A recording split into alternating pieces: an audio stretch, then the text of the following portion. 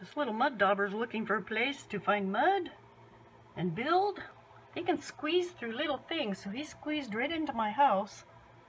And now he can't find a place to build and no mud to build with. Uh, it's not...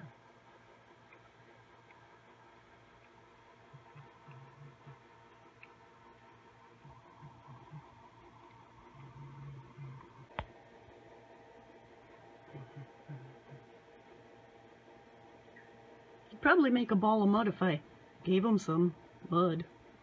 Ball it up and find a place to start building.